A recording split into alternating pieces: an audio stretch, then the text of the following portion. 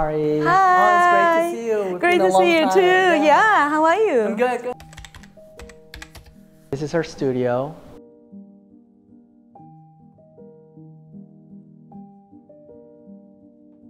So Mari, you studied in Australia after graduating high school. So why did you choose to go to Australia? I watched a lot of Japanese animation when I was young, and all the girls in Japanese animation they lived in Australia with the sheep and they pick up fruits from the woods, and I thought that was paradise, and I wanted to go to Australia. I, I told my mom I want to go go to Australia because I didn't study really well. So my mom say, okay, you can at least learn English. So um, go and do whatever for one year. And then I didn't really come back. I told my mom, I want to do this. I want to do this in Australia. I had a lot of things to do in Australia. And then I don't know, I wanted to live in Australia. Oh, really? Yeah. So how long did you stay in Australia? Almost 10 years. 10 years? Yes. It's like Australian. Yeah, I actually hold an Australian citizenship. Ah, yep. so like you're Australian Korean. Korean. Yep, yep. Ah, yeah. So and then when you go to Australia, you studied animation and creative media at the Royal Melbourne University. Is that is that right? So- RMIT, so called. So tell me about your experience at the school and your major. Um, I didn't get into the school at the first. I studied um, a certificate course to begin with Right. at the beginning, and I made my portfolio to get into RMIT because RMIT was good school. And when I first studied in Australia, I didn't really know I want to study this, but I always find um, cartoons and animation very fascinating, and I like to draw a lot when I was younger, but I didn't know that can be a job or a profession. So I studied a little bit, and I liked it very much, and I find whole kind of new world. So ah, you can draw a lot of things from u- using computer, and and then that kind of changed my view of drawings and creating things. And yeah, I found myself I was very passionate about it, and then I finally find myself liking studying. Then yeah. Studying animation. Yes, yes, and really and then I studied quite well then. So I studied for a long time, and then I actually finished my master's degree. I didn't really know how to draw because I didn't learn to draw. Ah. So, but I liked drawing, so.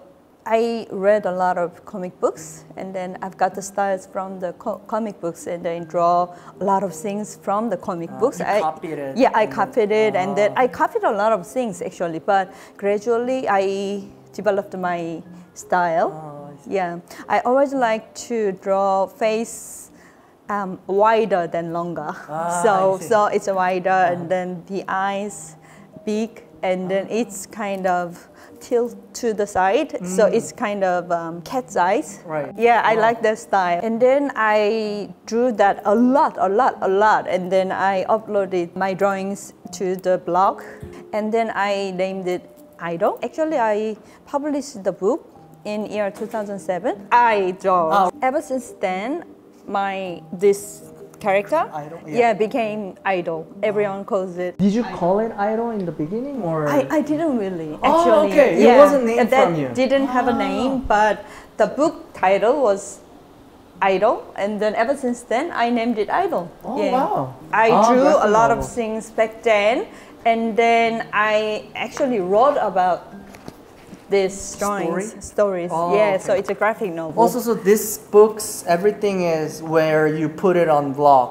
yeah, before. yeah, So yeah. you that's put right. it all that's together right. and made yeah, a book. Of, Yep. Oh wow! Unlike now, most people they use a social network to promote them or just talk about it. You use it in the very very early beginning.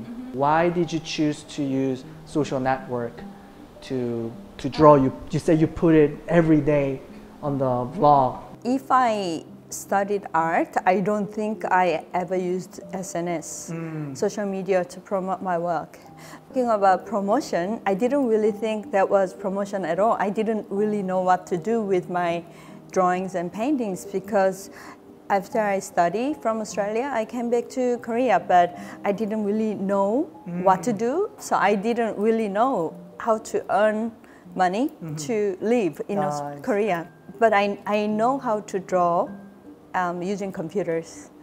But I didn't think that can be art, that can be exhibited. Because I didn't study art, so Right. I, I don't know exhibition. I don't know how to how to exhibit, uh, how to um, work with gallery. I don't know curators. I don't know any galleries in Oh. Korea. But I, I wanted to draw, so I drew a lot of things. I think I drew um, one painting, one painting or drawings and sketches. I, I do it more than one every day for two years. Oh. And then I um, uploaded these contents to Korean blog, uh, Naver. so um, I made more than 700 updates through two years. Wow. So um, back then, I uploaded a lot of content, and then they put me on the first page, and then people get to see my work, and then I kind of developed a lot of fans and follows. Oh, through yeah, blog. through blogs. If I studied art, I don't think I ever uploaded any contents to the SNS because in the classic uh, art business, they don't really reveal their work before the exhibition. But I didn't really know because I didn't study art. I think that was my difference and then disadvantage, but became a an advantage. The world was kind of changing, and then I was a new kind of artist they needed. But um, classically, they don't know this kind of art, so a lot of people didn't really think this is art. But um, some people think this is art.